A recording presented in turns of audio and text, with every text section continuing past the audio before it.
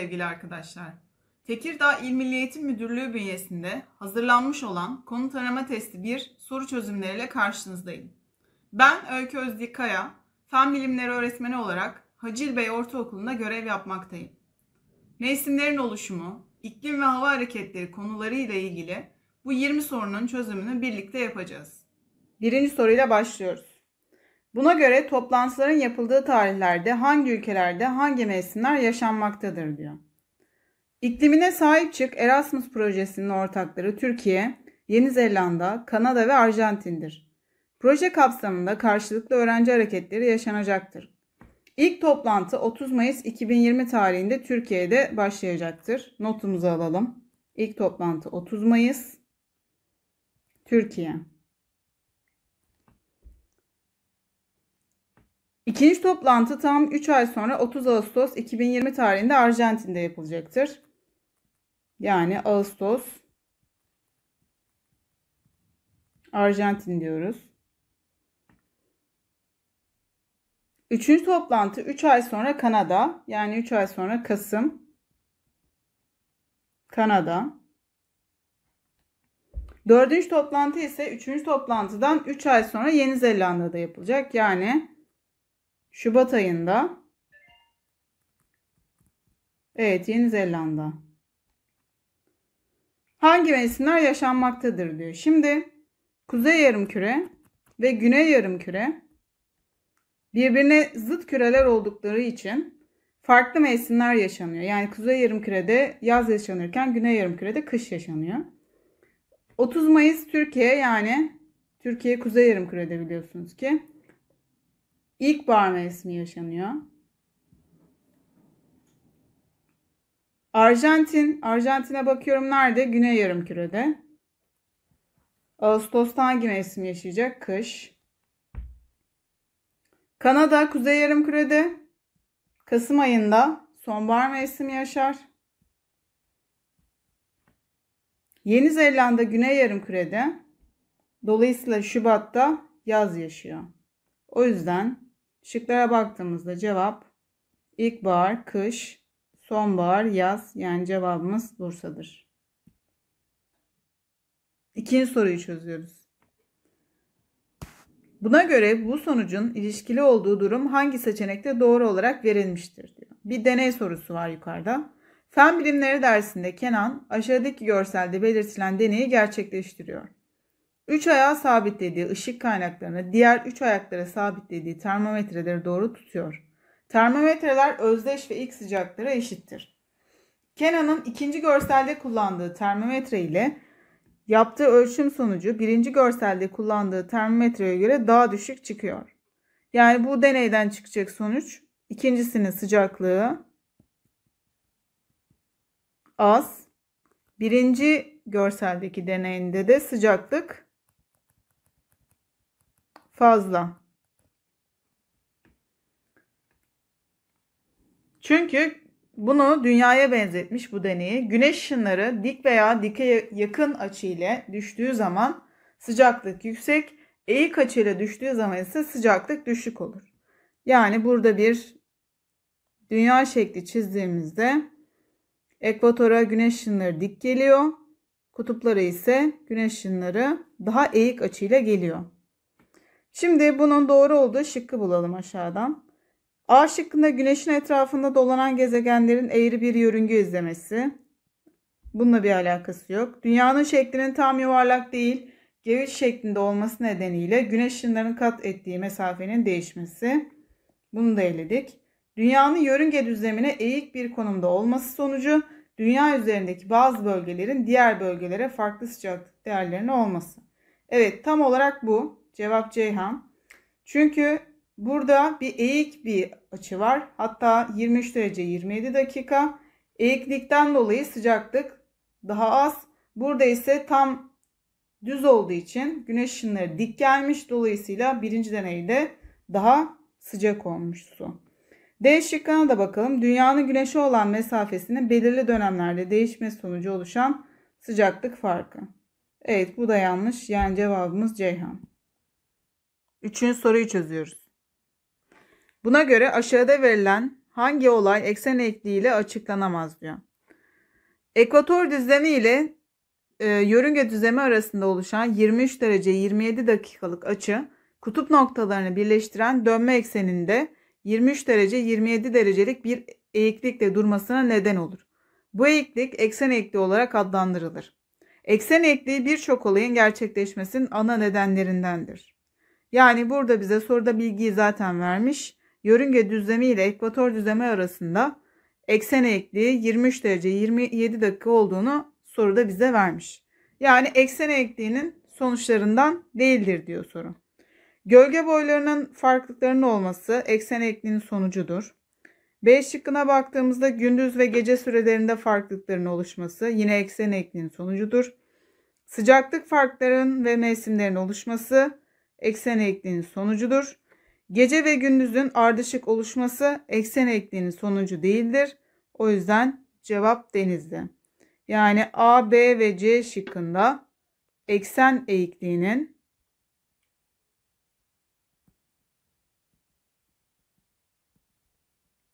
sonuçları verilmiştir. D şıkkında gece ve gündüzün ardışık olması eksen eğikliğinin sonucu değildir. Dördüncü soruyu çözüyoruz. Buna göre öğrencinin verileri elde ettiği yer ve tarih aralığı aşağıdakilerden hangisinde doğru verilmiştir?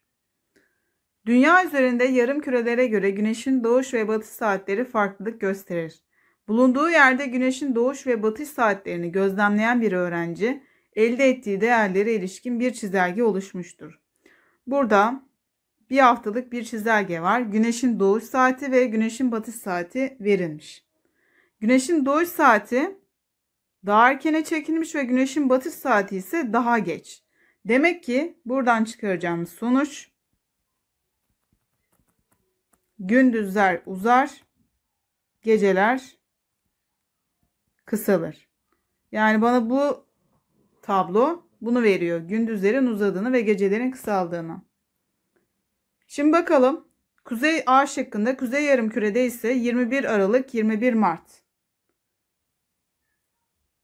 Evet gündüzler uzar geceler kısalır. Yani kıştan ilkbahara geçer ve gündüz süresi de 12 saatten azdır bu aralıkta. Cevap Adana ama diğerlerine de bakalım. B şıkkında kuzey yarımkürede ise 23 Eylül 21 Aralık seçeneği var. Burada kuzey yarımkürede geceler uzar. Yani yanlış. C şıkkında güney yarımkürede ise 23 Eylül 21 Aralık seçeneği var. Burada güney yarımkürede gündüzler uzar. Ancak ilkbahardan yaza geçiyor. Yani gündüz süresi 12 saatten fazla. Dolayısıyla bu da gidiyor. Burada dikkat etmeniz gereken bir yapı var. Gündüzler uzuyor ama 12 saatten fazla oluyor. Çünkü ilkbahardan yaza geçiyor. O yüzden C değil. Güney yarımkürede ise 21 Mart 21 Haziran diyor. Güney yarımkürede geceler uzar. Yani D şıkkı da değil. Cevap Adana. Beşinci soruyu çözüyoruz. Yukarıdaki açıklamalar ve verilen model dikkate alındığında yargılarından hangisine ulaşılır diyor. Bilgi okuyalım. Aşağıdaki şekilde güneş ışınları K ve L ile temsil edilmiştir. K ve L ışınlarının eşit miktarda güneş enerjisi taşımasına rağmen dünya yüzeyinde temas ettiği alanın büyüklükleri farklıdır. Bu nedenle güneş ışınlarının gelme açısı değiştikçe birim yüzeye düşen ışık miktarı da değişir. Zaten bize önemli noktayı burada vermiş. Yani güneş ışınlarının gelme açısı değiştikçe birim yüzeye düşen ışık miktarı da değişiyor. Buna göre bakalım. Şekli incelediğimizde eğik gelen bölgeden kutuplar ve dik gelen bölgede ekvator bölgesinde meydana geliyor. Kuzey kutbu çevresine göre ekvator çevresi L ışınları sayesinde daha fazla ısınmaktadır diyor. Evet bu doğru. Çünkü ekvator bölgesine güneş ışınları dik geldiği için daha sıcak, kutuplara ise daha eğik geldiği için daha soğuktur. Her iki alana düşen ışık miktarı eşit olmasına rağmen K ışınları daha geniş bir alana etki etmektedir. Evet daha büyük bir alana etki etmiştir K. Çünkü güneş ışınları eğik geldiği için alan daha büyük. Burada ise dik geldiği için alan daha küçüktür. O yüzden ikinci öncül de doğrudur. Üçüncü öncüle bakalım. Günün aynı vaktinde bir cismin K ışınlarının düştüğü bölgedeki gölge boyu L ışınlarının düştüğü bölgeden daha azdır diyor. Burada daha fazladır olması gerekiyor. O yüzden üçüncü öncül yanlış. Yani cevabımız 1 ve 2. Cevap Ceyhan. Altıncı soruyu çözüyoruz. Buna göre verilen tarihlerde hangi depodaki suyun sıcaklığı 30 derecede daha kısa sürede ulaşmasını beklenir? Yıl boyunca güneşten gelen ışınlar dünyaya farklı açılarda düşer. Bir bölgeye ışınlar dik veya dike yakın bir açıyla düştüğünde daha fazla ısı enerjisi aktarılır. Dünyanın eş yükseltideki farklı noktalarına görseldeki gibi aynı açıyla özdeş güneş enerjisi su ısıtma sistemi takılmış ve depoların tamamı eşit sıcaklıktaki su ile doldurulmuştur. Buna göre hangi tarihler olduğuna bakalım. Şimdi 30 dereceye daha kısa sürede gelmesini amaçlıyorsak güneş, ışın, güneş ışınlarının 90 derece ya da 90'a yakın olması gerekir. Yengeç öncesine güneş ışınları 21 Haziran'da dik gelir.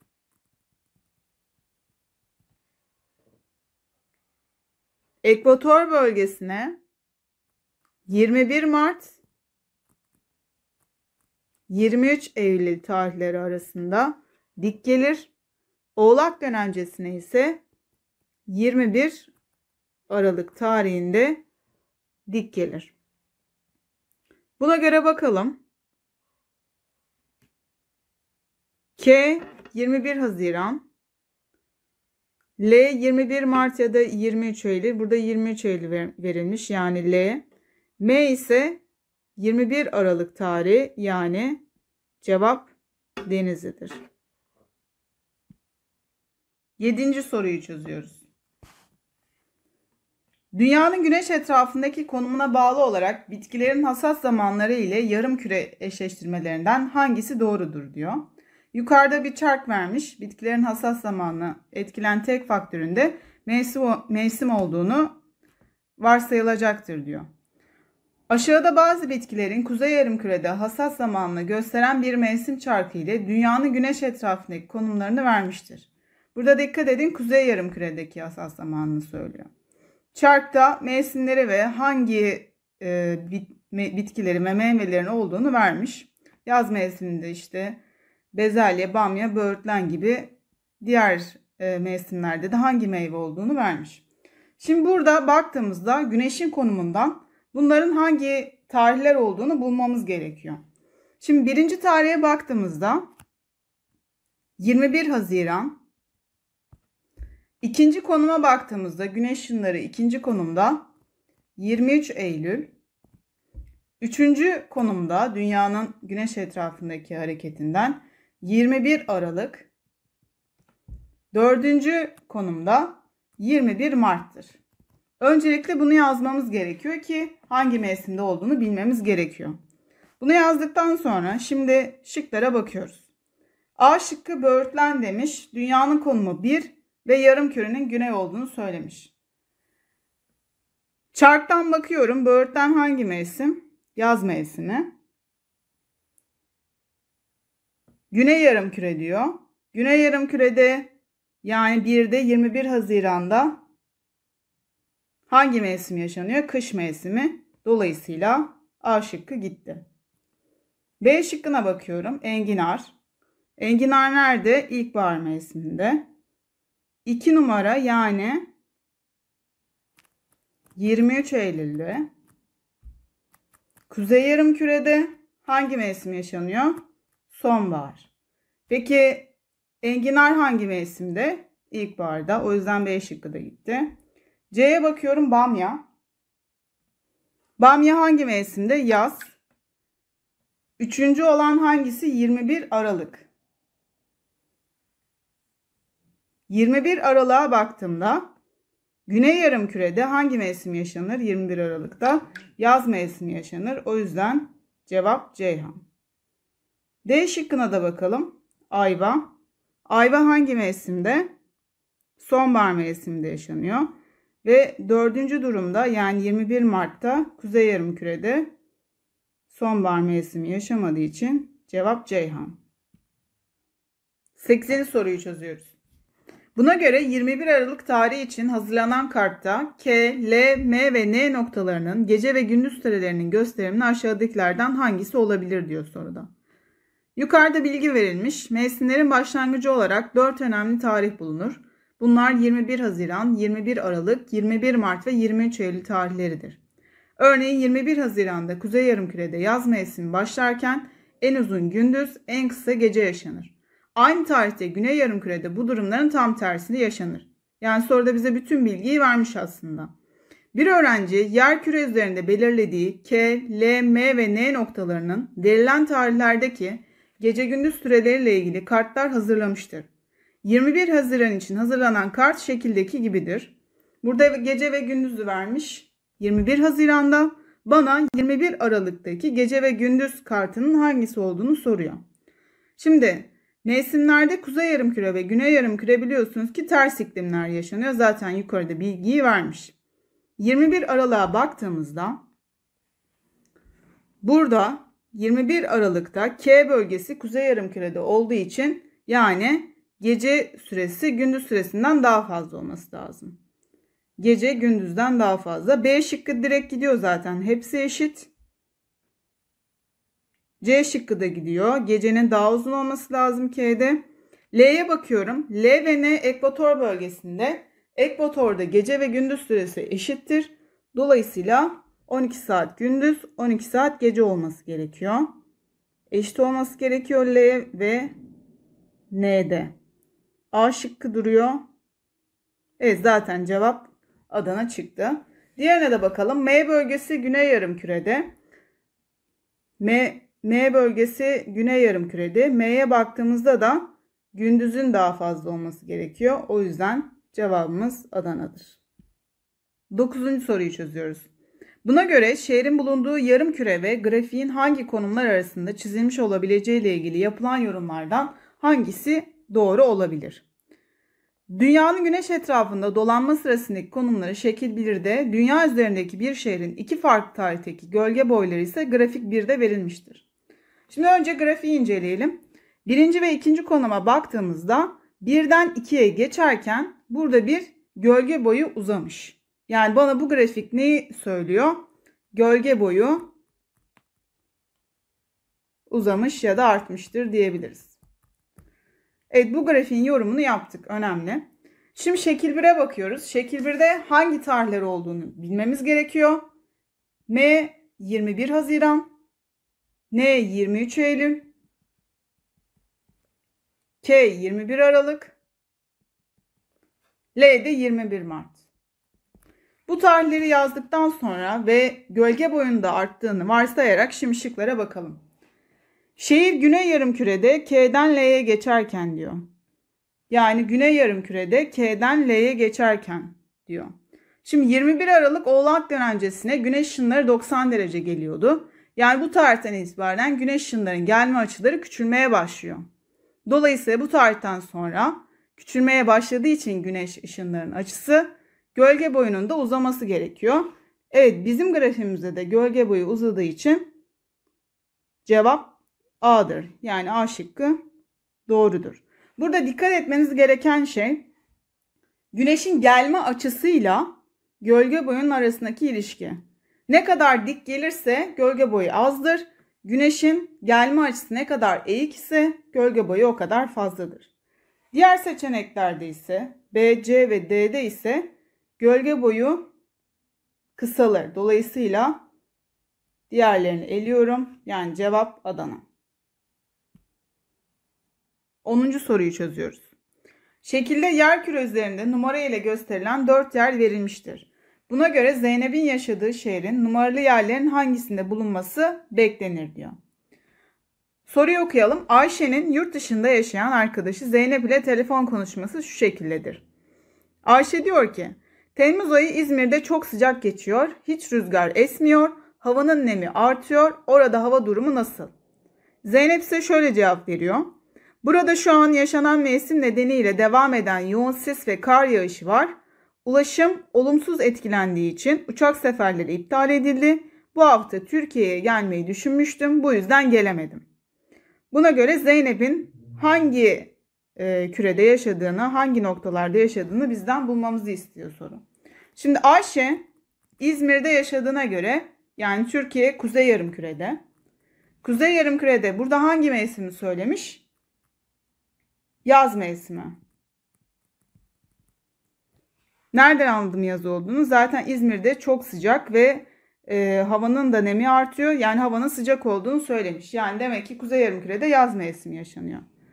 Zeynep'in hangi noktada yaşadığını nereden anlayacağız? Kuzey Yarımküre'de yaz mevsimi yaşanıyor.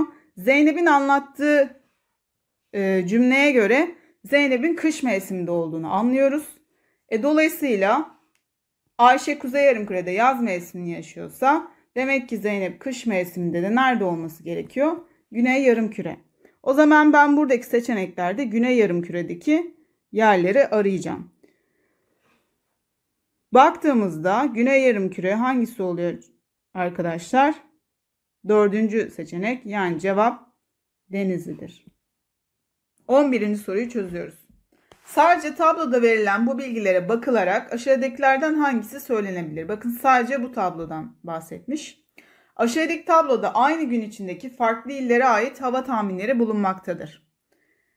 Burdur, Isparta, Antalya ve Konya ilinin sıcaklıklarını vermiş. Buna göre bakalım. A şıkkındayız. Burdur yüksek basınç alanı ise Isparta alçak basınç alanı olur diyor. Şimdi basınçlara baktığımızda, rüzgarlara baktığımızda rüzgar yüksek basınçtan alçak basınca doğru oluyor. Yani sıcaklık olarak düşündüğümüzde yüksekleri aynı tutarsak soğuktan sıcağa doğru gitmesi gerekiyor. Bu bilgiyi bilmemiz gerekiyor. Şimdi Burdur yüksek basınç alanı ise Isparta alçak basınç alanıdır diyor. Yanlış. Neden? Burdur'un sıcaklığı 35 derece. Isparta'nın sıcaklığı ise 32 derece. Tam tersi olması gerekiyor. Yanlış. Farklı illerde hava sıcaklığı aynı olabilir diyor. 4 tane il vermiş. 35, 32, 39 ve 37 derece. Dolayısıyla aynı sıcaklıkta olan bir il yok. B şıkkı da gitti. En fazla nem Isparta'dadır diyor. Burada nemle ilgili bir bilgi vermemiş. Sadece sıcaklık vermiş. Ceyhan da gitti. Denizli'ye baktığımda Antalya ve Konya arasında oluşabilecek rüzgarın yönü Konya'dan Antalya'ya doğrudur diyor. Şimdi bakalım Antalya ve Konya'ya. 37 derece 39 derece. Ne dedik? Soğuktan sıcağa doğru olması gerekiyor. Yani bu iki şehir arasında Konya yüksek basınç, Antalya alçak basınç oluyor. Ve dolayısıyla rüzgar yüksek basınçtan alçak basınca doğru olduğuna göre yani Konya'dan Antalya'ya doğru eser doğrudur. Cevap Denizli. 12. soruya bakıyoruz. Buna göre rüzgarın yönü ile ilgili hangi öğrencilerin yorumları doğrudur diyor. Farklı P, R, S ve T bölgelerine ait aynı zaman dilimindeki basınç değerleri grafikte verilmiştir. Direkt basınçları vermiş bize. Bu bölgeler arasında oluşabilecek rüzgarın yönleriyle ilgili bazı öğrencilerin yorumları aşağıdaki gibidir diyor. Hangileri doğrudur? Şimdi rüzgar neydi? Hatırlayalım. Yüksek basınçtan alçak basınca doğru hareket eden yatay harekettir. Dolayısıyla basıncı direkt verdiğimize göre yüksek basınçtan alçak basıncı olanlar olanlara bakalım. Kadir diyor ki R'den S'ye rüzgar oluşur diyor. R'ye bakıyorum grafiğe. S'ye bakıyorum. Yanlış. Alçak basınçtan yüksek basıncı olmaz. Yani Kadir yanlış söylüyor. Batuhan'a bakıyorum. S'den T'ye diyor. S yüksek basınç. T'ye bakıyorum. Alçak basınç. Dolayısıyla Batuhan doğru söylüyor. Yüksek basınçtan alçak basınca doğru. Fatih'e bakıyorum. P'den T'ye. P ve T'ye baktığımızda evet P yüksek basınç. T'de alçak basınç olduğuna göre Burada bir rüzgar oluşur. Yani doğru. Yaprağa bakıyorum. R'den P'ye. R'den P'ye. R alçak basınç. P yüksek basınç oluyor. O yüzden yaprak yanlış söylüyor. Yani doğru olan Fatih ve Batuhan. O da hangi şık oluyor? Cevap Ceyhan. 13. soruya bakıyoruz. Ahmet ve Fatih'in konuşmalarına bakılarak aşağıdakilerden hangisi söylenemez diyor. Dikkat edin söylenemez. Ahmet arkadaşı Fatih ile konuşurken Karadeniz bölgesinde yaşadığını ve bu bölgenin her mevsim yağışlı olduğunu söylemektedir. Fatih ise Şanlıurfa'da yaşadığını ve yazın gelmesiyle son 5 gündür havanın daha sıcak olduğunu söylemektedir.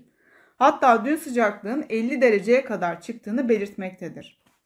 Şimdi buna göre A şıkkına bakalım. Ahmet bulunduğu bölgenin ikliminden bahsetmiştir diyor. Evet Ahmet Karadeniz bölgesinde yaşıyor ve Karadeniz bölgesinin özelliğini söylemiş. İşte her mevsim yağışlı olduğunu. Yani bu bir iklimdir. Karadeniz iklimi. Dolayısıyla A şıkkı doğru. Fatih Şanlıurfa'nın hava olaylarından bahsetmektedir diyor. Evet bu da doğru. Zaten son 5 günün havanın daha sıcak olduğunu söylemiş. Yani hava olayları daha birkaç günlük olaydır. İklim ise daha yıllarca süren hava olaylarının ta- talimiydi. E, dolayısıyla burada hava olayından bahsetmiştir Fatih. C'ye bakalım. Fatih'in belirttiği durumu klimatologlar incelemektedir diyor.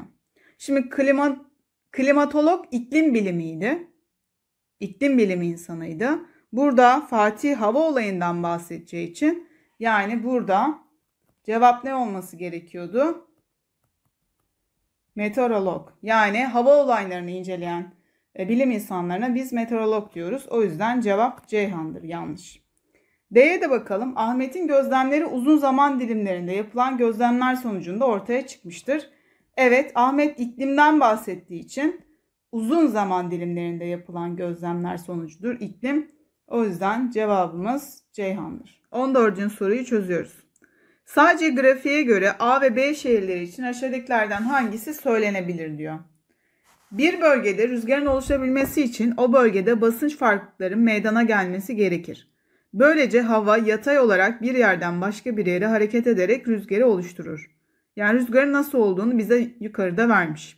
Aşağıdaki grafikte A ve B şehirlerinde farklı günlerde aynı saatte ölçülen sıcaklık değerleri verilmiştir. Burada bir sıcaklık değeri var. A şehri pembe renkte gösterilmiş, B şehri de yeşil renkte gözle, gözlemlenmiş. Yani çizgi grafiği vermiş bize. Buradaki sıcaklık farkına göre e, rüzgarın olduğunu ya da hangi basınçta olduğunu bulabiliriz. Rüzgar yüksek basınçtan alçak basınca doğruydu. Yani sıcaklık olarak baktığımızda soğuktan sıcağa doğru gidiyor. A şıkkına baktığımızda sadece iki gün hava A şehrinden B şehrine doğru yatay olarak hareket eder diyor. Buraya baktığımızda e, çizgilerin kesiştiği nokta yani çarşamba günü dışında rüzgar vardır. Çünkü çarşamba gününde sıcaklık eşit olduğuna göre sıcaklık eşit olduğunda rüzgar oluşmaz, basınç farkı oluşmaz. O yüzden yanlış. Perşembe günü B şehrinde havada bulut gözlenir diyor. Baktığımızda çarşambadan perşembeye B şehrinde bir sıcaklık artışı var. Sıcaklık artmış yani ısınan hava yükselir ve basınç azalır. Alçak basınç oluşur. Yükseltici bir hava hareketi vardır ve bulut oluşabilir. O yüzden Bursa doğrudur. Diğerlerine de bakalım. İki şehir arasında hangi günlerde en şiddetli rüzgar olduğu belli değildir diyor. Yanlıştır arkadaşlar. Sıcaklık farkı ne kadar fazlaysa basınç farkı da o kadar fazladır. Dolayısıyla burada hangi gün olduğunu bulabiliriz. D şıkkında A şehrinde 4 gün alçaltıcı hava hareketi görülür diyor. Yanlıştır. Alçaltıcı hava hareketi bu arada yüksek basınçtır. Yani cevabımız Bursa. 15. soruyu çözüyoruz. Bu grafik incelendiğinde verilerlerden hangisi söylenemez diyor. Şimdi önemlidir. 14. soru gibi grafik okuma sorusudur. Grafik ve tablo sorusu özellikle LGS'de karşınıza çok fazla çıkacak. Aşağıda Türkiye'deki herhangi bir ilin yıllık sıcaklık ve yağış miktarını gösteren grafik verilmiştir. Buna göre grafiği yorumlayalım.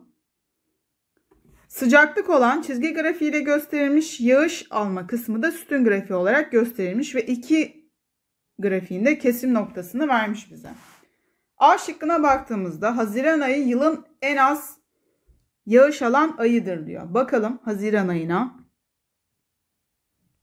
Evet Haziran ayı diğer graf sütun grafiğine baktığımda evet en az yağış alan grafiktir. Yani A şıkkı doğru. B şıkkına bakalım. Ortalama 150 milim yağış ile yılın en fazla yağışı Mart ayında yağmaktadır diyor. Bakalım Mart ayına. En fazla evet en fazla Mart ayı. Mart ayı dışında var mı? En yüksek sütun grafiğinde Mart ayı. Bu da doğru. Temmuz Ağustos ayları yılın en sıcak aylarıdır diyor. Bakalım Temmuz Ağustos ayı. Evet bu çan eğrisinin en üstünde olan Temmuz ve Ağustos ayının yılın en sıcak aylarıdır diyor. Yani en yukarıda olduğuna göre eğri. Dolayısıyla C şıkkı da doğru. Denizli'ye bakalım. Şehrin yıllık sıcaklık ortalaması 20 derecenin üzerindedir diyor. Şimdi baktığımızda en üst noktada yani en üst noktada neredeyse 20 derece ve 20 derecenin biraz üstünde. En üst nokta. Yıllık sıcaklık ortalaması demek bütün sıcaklıkları toplayıp 12'ye bölmemiz demektir. Dolayısıyla 20 derecenin kesinlikle altındadır. O yüzden yanlış olan Denizli'dir. 16. soruyu çözüyoruz. Yasin'in hazırladığı Güneş Kulesi ile ilgili aşağıdakilerden hangisi söylenemez diyor. Yasin koyu renkli cisimler açık renkli cisimlere göre ışığı daha fazla soğurur bilgisini kullanarak bir güneş kulesi hazırlamaya karar veriyor. Hazırladığı kuleyi aşağıdaki gibi iki kitabın arasına alttan hava alabilecek şekilde yerleştirerek güneşin önüne koyuyor. Bir süre sonra pervanenin döndüğünü gözlemliyor. Böyle bir düzenek kurmuş. Hangisi söylenemez diyor. Burada baktığımızda zaten koyu renkli cisimlerin açık renkli cisimlere göre ışığı daha fazla soğurduğunu, dolayısıyla daha fazla soğurursa sıcaklık daha fazla artar. Bu silindir koyu renkli olduğuna göre sıcaktır. Kitaplar da açık renkli olduğuna göre kitaplar da soğuktur kıyaslama yaparsak. Şimdi basınç olarak baktığımızda sıcak olan yerler alçak basınç, soğuk olan yerler yüksek basınç oluşturuyordu. Çünkü sıcak hava yükseliyor ve alçak basınç oluşturuyor. Soğuk havada aşağı inerek yüksek basınç oluşturuyor. Dolayısıyla A şıkkına baktığımızda düşey yönlü hava akımının oluşumuna örnek olarak verilebilir diyor. Evet A şıkkı doğrudur. Bu arada yüksek basınçtan alçak basınca doğru rüzgar oluşuyor. Yani kitaplardan, buradan, aradan yukarı doğru hava akışı oluyor ve pervane bu şekilde dönüyor. Silindirin ışığı soğurması ile kulenin alt ve iç kısmında basınç farkı oluşur. Evet, doğrudur. Alt tarafta kitaplarda yüksek basınç, yukarıda ise silindir kısmında ise alçak basınç oluşur. Yani B şıkkı da doğru. C'ye bakalım. Silindirin altında alçak basınç alanı, içinde ise yüksek basınç alanı oluşur diyor. Silindirin altında biz ne dedik? Yüksek basınç oluşur. Üst tarafta ise alçak basınç oluşur ve bu sayede yüksek basınçtan alçak basınca doğru bir rüzgar oluşumu olur ve pervane döner. O yüzden Ceyhan kesinlikle yanlıştır. Silindirin altından giren soğuk hava ısınarak yükselir ve pervanenin dönmesini sağlar. Evet başta soğuk hava oluşuyor. Pervane kısmına gelene kadar ısınıyor ve pervanenin bu şekilde dönmesini sağlıyor. D şıkkı da doğrudur. Yani cevap Ceyhan'dır. 17. soruyu çözüyoruz. Bu soruların doğru cevapları izlendiğinde kaç numaranın çıkışı ulaşılır? Aşağıda iklim ve hava olayları ile ilgili bazı sorular verilmiştir. Dallanmış ağ şeklinde doğru yanlış şeklinde gideceğiz. Günlük hava tahminlerinde bulunan uzman kişidir. Günlük hava olaylarında uzman kişiye biz ne diyorduk? Meteorolog. Gün içinde gerçekleşen yağış, sis, rüzgar, Kar ve sıcaklık farkı gibi hava olaylarıdır. Farkı gibi olaylardır. Bunun cevabı nedir? Hava olaylarıdır. Yani birinci çıkış cevap Adana. 18. soruyu çözüyoruz. Bu bilgilere göre aşağıdaki ifadelerden hangisi söylenemez? Görselde farklı ortamlar arasında bulunan engeller kaldırıldığında mum alevinin hareket yönü ok ile gösterilmiştir. Yani burada bir basınç farkından bahsediyoruz. Mumun hareketine göre basınçları, rüzgarın oluşumunu gözlemleyeceğiz. Şimdi birinci ortam 30 dereceymiş ve engeller kalktığında ikinci ortama doğru bir rüzgar geçişi var. Yani burada o zaman birinci ortam yüksek basınç, ikinci ortamda ne oluyor? Alçak basınç oluşuyor. Şunu unutmayalım. Soğuktan sıcağa doğrudur. Yüksek basınç, alçak basınç olayı. Bu durumda soğuktan sıcağa doğru olduğuna göre K'nin derecesi 30 dereceden büyük olması gerekiyor. Buradan bu sonuç çıktı. İkinci düzeneye baktığımızda üçüncü ortamdan dördüncü ortama doğru bir rüzgar hareketi var. Yani L ortamı yüksek basınç, dördüncü ortam ise alçak basınç oluşuyor. Ki bu sayede rüzgar oluşsun. Buraya baktığımızda yüksek basınçtan alçak basınç olduğunda ikinci çıkardığımız sonuçta L'nin 40 dereceden küçük olması gerekiyor. Beşinci ve altıncı ortama baktığımızda bu sefer yüksek basınçtan alçak basınca doğru yani sol tarafa doğru bir hareket var. Buradan çıkaracağımız üçüncü sonuçta nedir? M'nin 20 dereceden küçük olduğu. Şimdi bulduğumuz sonuçlara göre şıklara bakalım. A şıkkı birinci ortam yüksek basınç alanına, ikinci ortam ise düşük basınç alanına sahiptir diyor. Evet zaten biz bulduk. Birinci ortam ne dedim? Yüksek basınç. ikinci ortam ise alçak basınç yani düşük basınçtır. Doğru. B şıkkına baktığımızda ikinci ortamda K değeri 30 dereceden büyüktür dedik. Evet bulduğumuz sonuçlarda 30 dereceden büyüktür dedik. C şıkkı ortamların sıcaklık sıralaması K eşittir L büyüktür M olabilir. Şimdi bakıyorum bulduğum değerlere. K 30'dan büyük olacaktı. 40, L de 40'tan küçük olacaktı. Evet K ve L eşit olabilir. M'nin 20'den küçük olması gerekiyor. Yani en küçük M'dir. Evet böyle bir olasılık olabilir. D şıkkına baktığımızda 6. ortamda yükselen hava olayı gözükür diyor. Şimdi bu ortam yüksek basınç alanı. Yükselen hava alanı gözükmez. Yükselen hava alanı alçak basınçtır. Alçak basınç olmadığına göre cevap Denizli'dir. 19. soruyu çözüyoruz. Buna göre tablonun hatası olarak doldurulmuş hali hangi seçenekteki gibidir? Fen bilimleri dersinde iklim ve hava olayları konusunda konusunu anlatan Zeki öğretmen öğrencileriyle ilgili aşağıdaki tabloyu yapmıştır. Etkinlikte verilen ifadeler iklim özelliğine ait ise cümlenin başına i, hava olayları ise h harfi yazılacaktır. Bakalım sırasıyla. Isparta'da bugün 4 ile 6 saatleri arasında yağmur yağışı görülecektir diyor. Bugün yağmur yağışı görülecektir diyorsa anlık bir bildiridir. Yani hava olayıdır. İkinciye bakalım.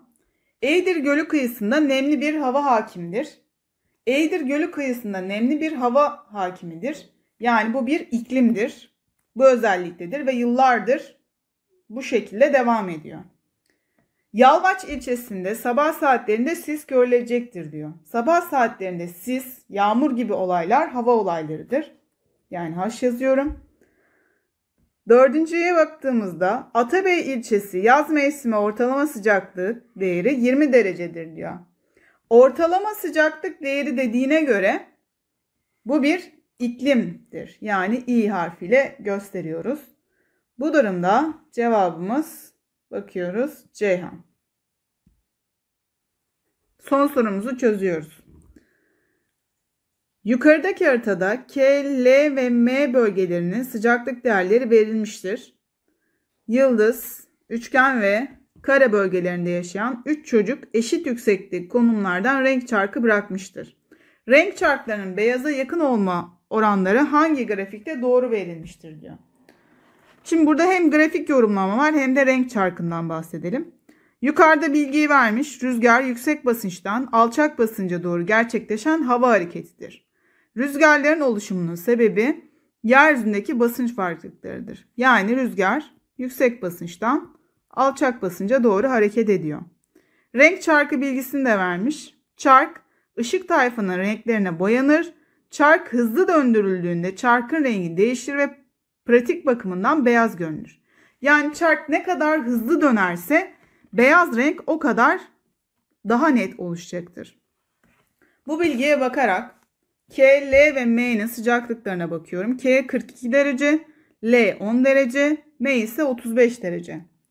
Şimdi yüksek basınçtan alçak basınca yani neydi? Soğuktan sıcağa doğru bakıyorduk. Yükseklikler aynı olduğu için. Sadece sıcaklık farkına bakıyorum.